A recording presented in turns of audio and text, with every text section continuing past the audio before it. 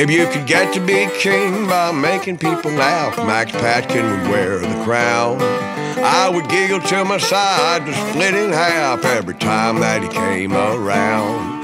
And the old grandstand would fill up with fans, and the cheers come rolling down for Bob Bailey, Gene Alley, and Willie Stargell, and Max the baseball clown.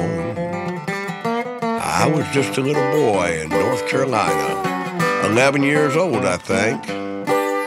Too young to go out raising hell with the girls, and too young to take a drink.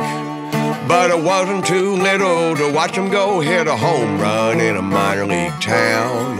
And watch a funny man in old baggy pants, Max the baseball clown.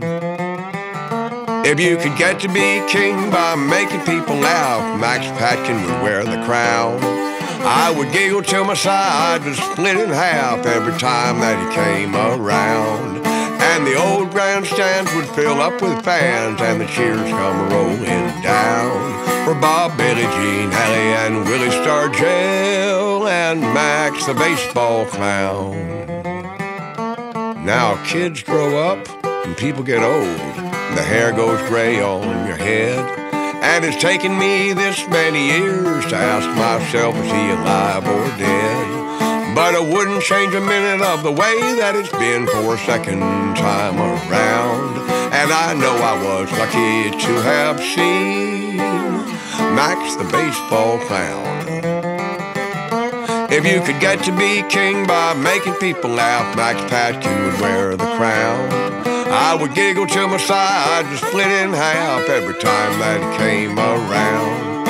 And the old grandstand would fill up with fans, and the cheers come rolling down for Bob Bailey, Gene Alley, and Willie Stargell, and Max the baseball clown. For Bob Bailey, Gene Alley, and Willie Stargell,